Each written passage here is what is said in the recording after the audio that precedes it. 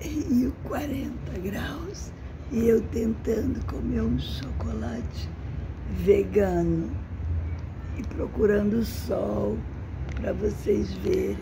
Tá todo derretido. Eu continuo com falta de ar. Daqui o chocolate completamente derretido. Vou comer e beber água. Tá calor, 40 graus. É vegan, zero crueldade animal. Compre e come.